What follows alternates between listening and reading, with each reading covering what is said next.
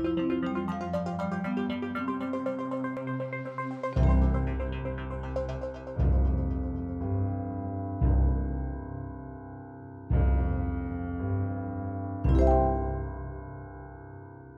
guys. All right, so I'm just going to go through a bit of background on me. Then I'm going to talk about what I've learned doing my most recent startup and how we expanded that internationally. And I'm also going to go through, um, based off what I've learned what I've seen with other friends who've done kind of international startups, what you should be looking at, what the challenges are, and you know what we all learnt on the in the trenches, kind of trying to overcome them. Yeah, so as Shui mentioned, uh, in 2008, while I was studying here at Melbourne Uni, myself and three friends got together and did my first startup. It was called Soak. There's a screenshot of our software up here. It was like a farm management system. We went in the Imagine Cup, which is Bill Gates' uh, software design competition, and we came first out of 220,000 students in the world. Got to go to Paris, got to meet Bill Gates, got to uh, grant money. Uh, tried to turn this into a business, but the global financial crisis hit suddenly all these people that were willing to write us a check uh, went quiet and closed their wallets, and uh, so that startup ended up dying. So I took a job at ANZ Bank and uh, helped them make the ANZ goMoney iPhone app. Uh, we took it to New Zealand, but given it was a big company, the international expansion wasn't that hard. Uh, next, I joined a really cool startup uh, that I'm pretty proud of in Melbourne called Rome to Rio. So these guys do like Google Maps but on steroids. So how to get from A to B using train, bus, ferry, walking, pretty any any type of transport. So I could be here right now and say I want to get to the Louvre in Paris, and it will literally say jump on the tram, get on the other tram, and get the sky bus, uh, go catch a flight to Amsterdam, get a train to Paris, and then get this bus to the Louvre. And I'll look at every single combination and give you guys uh, the best the best couple in terms of price or journey time. These guys have done a really, really good job of expanding internationally. So they've got multi language support, they've got millions of users from all around the world, and they're running it all out of Melbourne in a very lean way. So I'm definitely going to reference uh, some of the good stuff these guys taught me. Yeah, after that, went to the US and did the Silicon Valley thing and uh, studied and kind of got a feel for all this exciting stuff that was going on in California. Um, came back and wanted to do my own startup. Uh, did that with two friends, and yeah, it was mentioned we're in the very first MAP batch. That was our first day in the original MAP office, and you can see there's plastic on the chairs, and it's not very startup-y, but we, we ended up making it pretty fun. Okay, so the first startup I did originally started out as a personalized radio app. Then we pivoted and we became a kind of text to speech reader where we'd get articles from all around the world and make it so people could hear them. Then eventually, after two years of trying all this different stuff, we finally found our footing. We became a, an on-demand audio platform. So essentially what we do is radio stations or podcasters, so people are making audio, think Hamish and Andy. Our platform would basically capture their audio, do all the editing, put it all over the internet so people could listen to it. We'd bring back all the analytics. We'd let people pay money. We'd let people put in ads. And before they were using all these different tools to do all of that. And so we started out in Australia. Uh, in Australia, uh, radio landscape, there's like a couple of big networks that kind of have all the market share. Then there's this long tail of really small stations. And so what we found was that these big enterprise clients was where all the money was, and you know you could do one deal and get you know like hundred stations rather than going after this long tail. So after the big deals here dried up, we're like, wow, we really need to expand internationally. So from there, we um, yeah we spent a couple of years, as I mentioned, trying, and uh, eventually we're able to land quite a few clients. Um, so these guys are in the US, uh, these guys are in the UK, those guys are in Dublin, um, the guys in the bottom are in London, In installs kind of all around the world. And so, um, yeah, at first it was like hitting a brick wall, but then after kind of learning a lot of trial and error, a lot of speaking to people, we're definitely able to break down those barriers in what is a very, I guess, traditional, slow moving industry. So, um, before I get into kind of what we did to get those customers, I just want to, I guess, set the tone that you got to really ask yourself before you go into this do you actually want to expand internationally? So, um, we had competitors that were doing what we're doing, they're in Australia. Just by focusing on Australia, they would be able to iterate faster than us. And we then started playing this game of, all right, we're going to get other customers overseas. that's going to slow us down because there's all these challenges I'm about to talk about. But we believe that for us, that's going to be the right thing to do in the in the long term. And so you really need to go based off what your product is, what your vision is, where you want to go. Is this the right thing for you? And there's literally all these different markets to expand to. There's all these different ways to do it. So there is no kind of silver bullet. Literally, the answer is um, it depends, and you need to do what works for you. Okay, so the first thing we did was identify where we wanted to expand to. So a lot of businesses uh, in Australia start off going, okay, we've got Australia, they'll add New Zealand.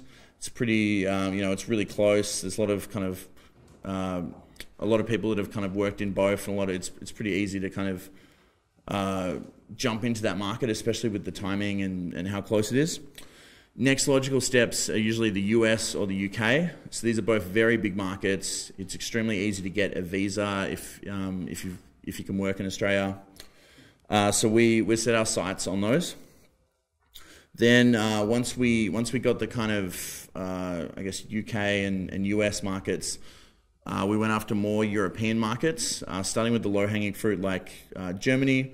So most pretty much everyone in Germany speaks English, so we didn't actually have to like localize our products or um, or kind of do many changes. There was not much resistance from all the customers. Then we started going for a lot of markets in Asia, so uh, Singapore, Malaysia. Um, then eventually the big markets like India, uh, India and China. We left those last because they're really big. They're really hard to get. You need local partners, um, and so I'll kind of go into those a bit later. So once you've once you've picked this market that you want to go into, and try not to pick a few. Try to do one at a time. So you've got your startup, you've decided that Australia is not big enough anymore, and you're willing to kind of take that risk. Pick your first market and then start kind of testing the waters, start marketing. So, in terms of online marketing, just putting up kind of surveys or putting up test content and using Google AdWords and Facebook ads, we were able to get all this amazing feedback on our product before we spent any serious time or money doing anything. So, just getting traffic to your you know your landing page um, with these ads and then seeing if anyone actually signed up um, was a really good way to get started. And that that started working for us. Um, the next one uh, content marketing. Has anyone heard of content marketing before? Okay i'm seeing a few nods. Okay so content marketing is is basically i'm sure you're all seeing it every day in your facebook newsfeed and um, all over blogs and on twitter and that kind of stuff Basically, it's you write content that your audience would find incredibly valuable or useful, and then you get it in front of them, and then after they find that content really useful and it helps them, you can kind of build a relationship with them. So you want them reading a couple of your kind of articles that you produce, then you want to capture their email. Once you've got the email, you want to get them actually going to your page and, and looking at your product. Eventually, you want to get them to do a demo, and then you, you kind of drip feed them all the way along. And so we, we found that the content marketing, um, applying that to different markets worked really, really well.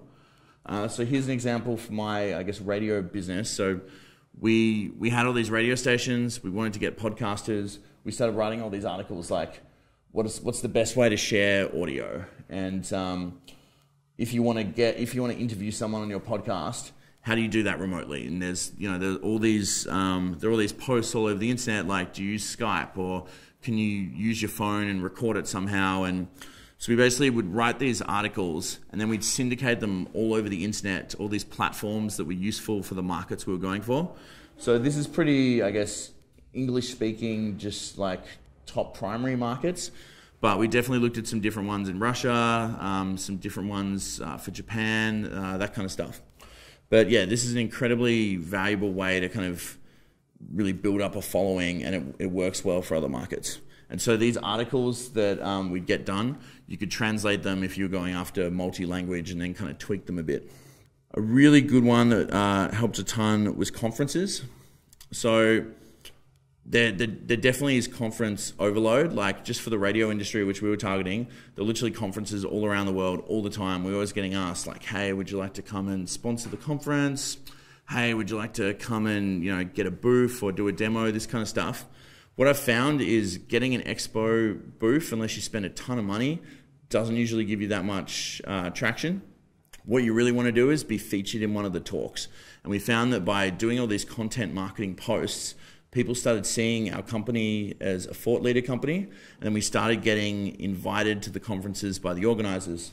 So there's one here where I couldn't go, but they were willing to let me Skype in remotely. So I didn't really have any costs aside from just jumping on Skype and spending a bit of my time to get in front of this massive radio conference in Europe. Um, this is another guy who was one of our company advisors who was asked to speak at the conference, and then he, he put in some slides about us. You don't have to be the one that, that goes and talks. If you're just kind of creating a lot of buzz or you're doing some really good stuff, getting other people to cover you that are third parties like looks even better. Um, yeah, what we found is we went to one or two conferences where we did get a booth and did spend kind of money on that stuff. One of them worked out really well, the other didn't work out well at all, and we decided that the return on investment just wasn't there. So if there is a conference that you think looks really good, see if you can go the year before you expo and take a look. But if, if timings, uh, if you want to move really fast, you can't wait that long. Usually the old conference websites will be up, or if you go and speak to the conference organizer, you can say, hey, who was someone who, who are a couple of people who were at this conference last year? I can speak to and I can find out how their experience was. And that way you can kind of filter it because if you do get the right conference and you get the booth and you have the people, it can be really, really good. So for us, our what we found was in Europe there was this one radio conference that pretty much the whole world aside from America goes to, and so we went to that and hit it hard, and we got more leads in two days than we'd gotten in like the previous year. Whereas we had other conferences in the US where we paid tons of money and we literally got no return on investment. Um, a really good one that um, has helped us a ton is channel partnerships. So we found with these these old radio stations, we'd go in and say, "Hey, we've got this great software. It's gonna you know make your life really really easy. All these people are using it." If um, if it was someone who wasn't in their market, often they'd say, "Hey, why don't you have um, an Italian example or a French example or this?" And it was really really hard to always get that first kind of client. Then once we actually had a client in their market and we started speaking to them it still took ages to actually build the relationship for, with them and for them to trust us and that kind of stuff. So what we found is we looked for uh, products that would have some kind of integration with our platform where they could complement each other. And then we made friends with these companies and we said, hey, if you get your product, it plugs into our product and it's better for the customer. What if we let you guys resell our product and we'll give you a revenue share on that? then suddenly these guys who would look after you know just Sweden or just the UK or just Italy would be incentivized to get all their customers who have trusted them for years and then upsell our product. And especially when they sold us an add-on for something that's already in the radio station, suddenly we were getting all these intros, we were getting all this work done. We literally just had to kind of sit back while these champions we picked in different markets kind of did the selling for us. So I strongly recommend um, investigating channel partnerships a lot of people are going to push for exclusivity. I've seen people get burnt this way. You let someone be your kind of channel partner exclusively for that market. If they don't perform, you're stuck and it really kind of holds you back. So try to avoid exclusivity. On the flip side, if it's a market that you don't really care about or you don't want to go into that badly, then there's nothing wrong with letting someone own it and try it. Um, now, uh, joint joint venture. Uh, so one of the things we looked at was going into China and doing a joint venture. So our radio software for radio stations actually sits in the radio station and records um, what's coming through the mics and all these other things that are going on. In China, that wasn't appropriate for a, a non-local company to kind of come in and be tracking the media because they've got some very different media laws there. So we found a local partner uh, who could operate in the area, who already had a really big business, they already had all the licenses, they knew the government, all that kind of stuff. And so we partnered, we are going to partner with them to basically make a joint venture where they owned a majority of it. We provided all the tech, they did all the business, the marketing, the sales, all that kind of stuff.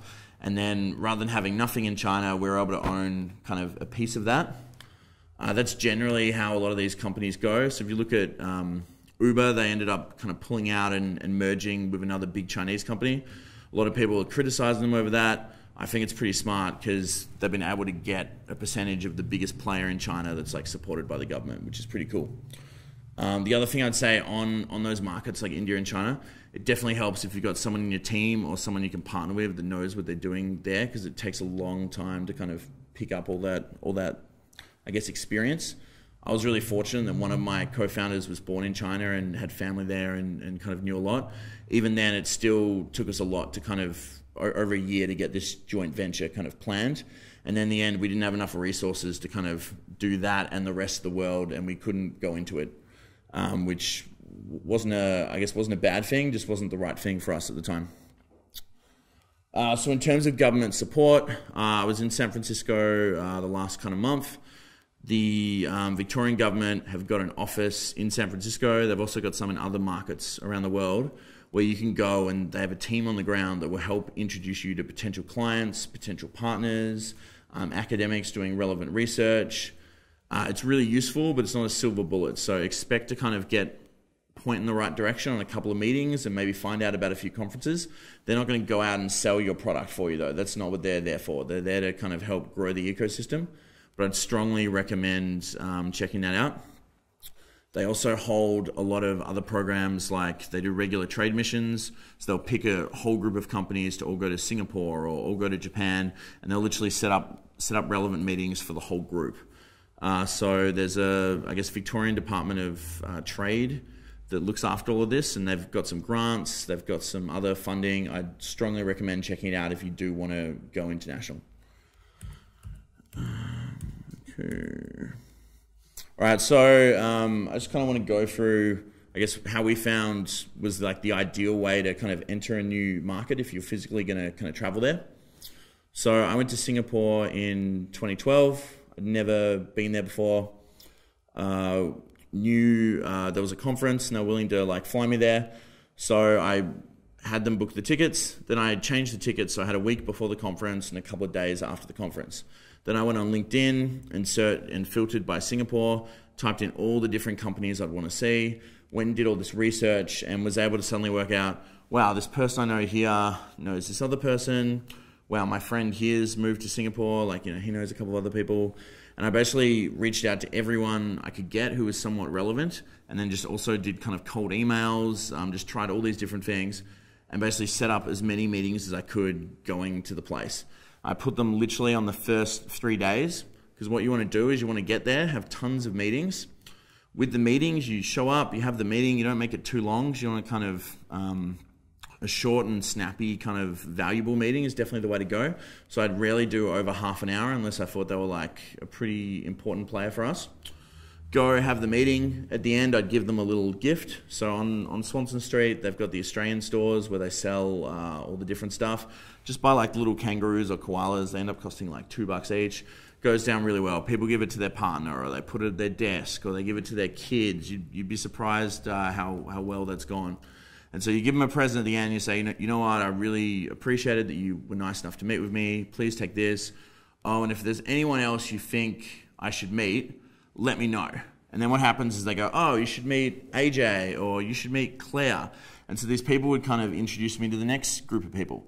Then they'd introduce me to the next group of people, and I ended up with this thing where it kind of would triangle out.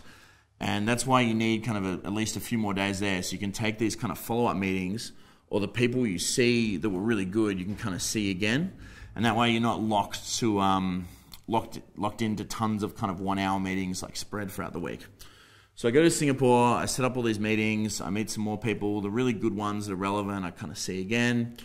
Go to this conference, literally just walk up to people, what brings you to the conference, talking point, and just anyone you speak to, like looks can be deceiving. Like you never know who they might be or who they might know. Like I was in Silicon Valley um, at a conference, oh, would have been like five years ago. There was this one guy in the room, um, and no one was talking to him, so I decided to go up and talk to him. Uh, he was doing this like kind of conferencing, um, conferencing startup, and I'd used it, and so we had a bit of a chat about it. And then he goes, "Oh, you know, this is cool. Do you want to get lunch tomorrow?" I'm like, "Sure." So this guy bought me lunch. We're talking. I wanted some advice for you know how to make my startup good, uh, perform better. And anyway, he kept talking about his first startup, and I was like, "All right, what's your first startup?" He's like, "Oh, I co-founded this um, company called LinkedIn," and I was just like, "Whoa!" And so that guy has literally opened all these doors for me over the years, and just is like a kind of a player. And just because he wasn't dressed up and wasn't hustling hard at this conference, like everyone kind of underestimated him or didn't know who he was. He's just kind of a quiet introvert guy. And so I, I try and you know work the room, meet lots of people, be nice to everyone, um, and just you know you never know who you're going to meet or what's going to happen. Um, once you've left, uh, it's like literally the day after the conference, or even that night before you leave, try and do all the follow ups because you want people while it's fresh in their mind coming back to work, and they want to see kind of a short email of a nice, clear kind of follow up. And you should always try and leave the meeting with a clear follow up if that's possible. And so, pr- pretty much what happened is over, over the Omny journey, we started, we did the UK, then we kind of did America, then eventually Singapore, which unlocked a lot of kind of Southeast Asia, then um, back to Europe and kind of slowly adding like uh, France, Germany, some of those markets. Went to Dubai and then unlocked part of the Middle East and just kind of kept rolling, uh, I guess, rolling from there.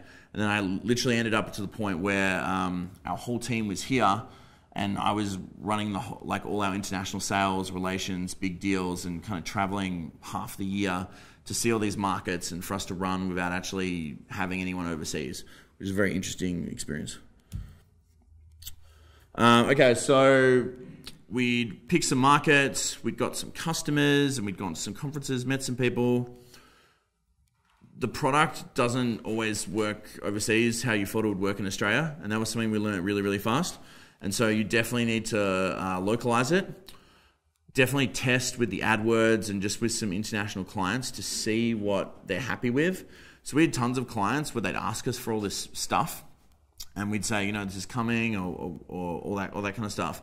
But then as soon as we made it clear that the they weren't coming or they weren't like way back in the priority, some of them started using it and actually found that there was enough value there for, for them to use it. So try not to kind of, I guess, promise all this stuff and try and get them using what you've got ready now and to focus on that. And running the AdWords is really good because it forces them to try what you've got up and what you've got available.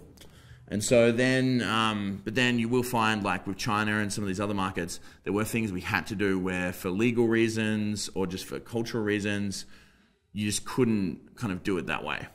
Um, and so once we once we did that, we'd start scoring everything. We'd work out, all right, what are the different kind of things that uh, are going to move the needle the most, given we've got all these different markets to focus on. So um, it's kind of a bit of a detour, but does anyone want to talk quickly about like product prioritization, like how you kind of get over that that problem? Is that interesting to people? Anyone? Yep. Okay. All right. So we'd be sitting in a meeting room. We'd have our like product team. We'd have the salespeople, and everyone would have like the different kind of features they wanted and the different things they were trying to prioritize. So what we'd do is everyone would write a list uh, during the week of like all the different kind of features they wanted, all the different things we could do. Like let's translate into this language, which had this feature. Then what we'd do is we'd um, we'd like put them all into a giant kind of list, and then we'd give um, we'd get everyone to kind of go through that. So it's it's in Excel, lists all the features. We get every single person in the team to have a column, and they have to rank each of the each of the items. Um, must we have this? Should we have this or is it kind of like nice to have? Then we'd assign like a three point, a two point, a one point, and we'd kind of go through all of that. Then we'd weight it based off all the different um, people, and we'd end up with like a score for each one.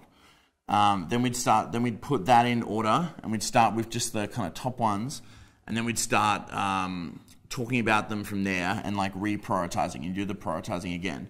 And eventually we'd end up with um, this list of like every feature you are going to have in priority order. And then you could add other other things on, like you know, if it, if it's going to add more revenue, give it some extra points. If it's going to bring in X amount of customers, you know, give it this many points. But if you do that, you can start to come up really quickly with which features do people care about in your team and which features are actually going to kind of move the needle.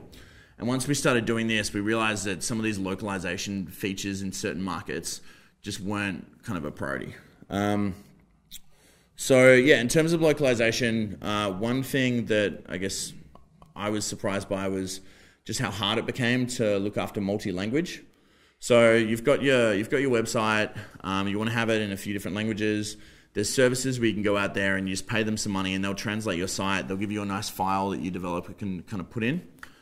That meant that suddenly every material change we did, we had to update our documentation, we had to update our website, and it started really slowing us down. If I think back to that kind of example of if there are competitors that are just in Australia, if we're doing like seven languages and they're doing like only one and they can iterate faster, they could start cutting our lunch just for all the English speakers, and they might be able to get big enough that they can like really start to become a problem.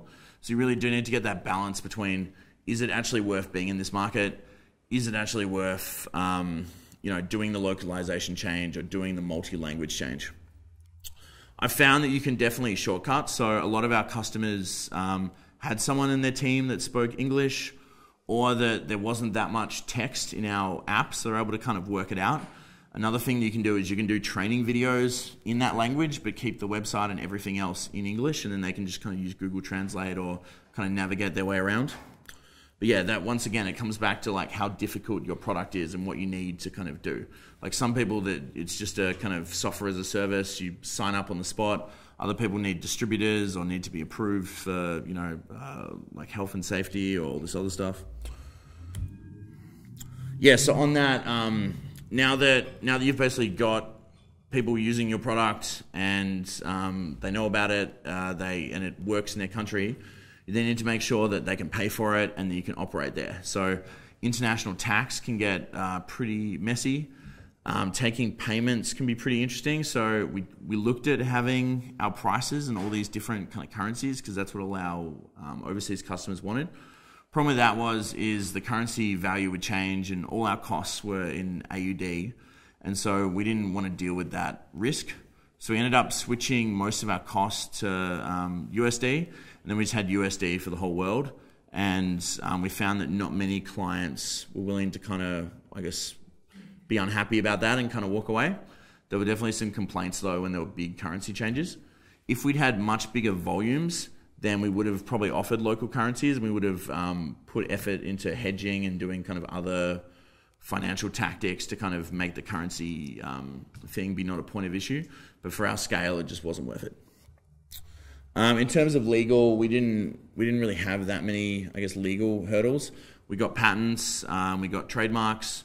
If anyone is patenting something, you can do an international patent where you get 18 months. And then after that, you can pick which markets you actually want to spend the money in.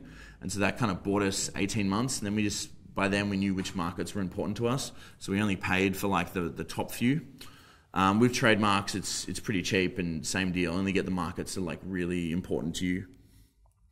Uh, okay, so time zones. Um, this one became quite an issue because of our uh, customer base.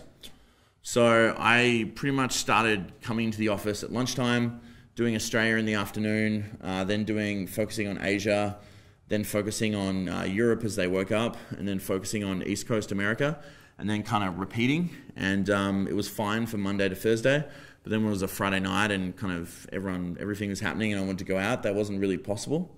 And so we ended up with this weird situation where our customers in like New York and California and that kind of those kind of places on a Friday just wouldn't get an answer because everyone in our office would go home on Friday afternoon. Um, so it wasn't that bad for the first few months, but then there was a big mess up on on a Friday, and luckily I was able to kind of pick it up in my email when I was coming home, and we are able to fix it then. But having that support kind of around the clock was really, really important. There's actually a startup uh, that some ex Melbourne Uni guys are involved in that I'm going to chuck a bit of a hello to called Influx. And so what these guys do that's really cool is they put they get these I guess customer support teams and they put them in all these countries around the world. And then you teach them how to do your customer support, and they teach people at each one of those centers how to do it. So if you have some big spike suddenly, like you you get featured in some magazine or you get featured on the top of Reddit or something, and all these people come, they will literally and your tickets go up. They'll start adding more people so you can reach, you can kind of get get a response within two hours. And they charge you per ticket, not on having people.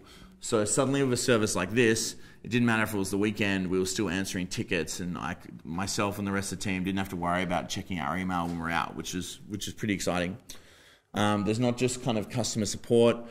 Uh, services like this, there's like sales, there's all sorts of things you can do um, by appointing people overseas to help you but I'd recommend having a decent volume. Um, these guys are pretty good though, so you could get them pretty fast. A lot of people also use them for just managing those spikes, even if they don't have international customers. Um, so yeah, what, what I found is um, Australia is pretty good for touching a lot of time zones. you definitely can have people in your team um, come to work earlier or come to work later to kind of share that load. Another thing though is you can just set the expectations like, hey, for US clients, we you know we, we don't have support during Friday, or you can find someone in the US that is willing just to cover that gap for you and do like an hourly hourly kind of wage. But um, yeah, definitely definitely became a challenge running it all from Australia. Our goal was to kind of get get bigger and get to the point where we can have you know someone for Europe, someone for America, someone for Asia, kind of like handling it all. Uh, yeah, so on that, international offices, um, the general trend uh, would be for kind of APAC to have someone in Sydney. That's now moving to Singapore because then you can not just do Australia and New Zealand, but you can also do most of Asia. Uh, Dublin is kind of the go-to for Europe because you don't pay much tax. Also, same with Singapore, and you know a lot of big companies have kind of set up there. There's a whole department um, in Singapore and uh, in Ireland as well that literally just help your company set up an office there and leverage all these different grants, all these different opportunities. Um, London's pretty good for Europe. Um, Berlin's become very, very popular as well. There's there's a ton of incentives there. There's a ton of startups. It's incredibly cheap. We uh, yeah we looked at London. It was really expensive. So Berlin's looking pretty appealing. Um, US, uh, you should go where your customers are. So if it's finance or if it's uh, media, you should you should go to New York. If it's tech, um, you should go to California. Yeah, just you just need to look at what works for you all those cities like Chicago, Seattle, LA, they, they all work and they're all trying to get people there. There's even smaller ones like Boulder and um, Columbus that are really trying to rally people there. Uh, so, yeah, just whatever works for you. Okay. All right, so this whole time while all this kind of stuff is going on, you're trying to get all this stuff right, there are most likely going to be people doing what you do who are already in that market. They have contacts, they speak the language, um, they're physically there. So they're going to have an edge on you. So try and look at a way so you go, okay, we're going to this market and there is this local competitor, but we're better because we can be cheaper because we scale all around the world. Or we've just got a better platform because of these features. Make sure you've got some kind of edge. Otherwise, people are naturally going to choose the one that's right there that they can pick up the phone and see and have a coffee with and that kind of stuff and that was something we definitely found tough with some of our competitors in the U, especially in the US. Um, okay. Yeah. So to recap, in terms of the, I guess, uh, what you should be what you should be doing when you make this call. Work out, pick a market that you want to go into. Um, get customers and do the marketing and test everything and make sure it's worth your while. Then do the do the new language or do the um, localization that's required to get your product just there. Like the minimum version doesn't have to be fancy. Um, make sure you can operate. Make sure you can charge people. Uh, make sure you've got a way to kind of be in that time zone and handle the customer support and actually look after your clients. And then um, have an edge and make sure you stand out from those uh, local competitors. And these are the things at um, the startups my friends run and that I've seen, and also at ours that have really helped us kind of following this process. Uh, there's literally tons of stuff I've skipped over that I could talk about, like different cultural things to be aware of in different markets. Um, example with the billing one, there's services like Stripe and Braintree where you can literally plug them into your website and you can charge in all these different currencies. Um, there's tons of stuff we could go into.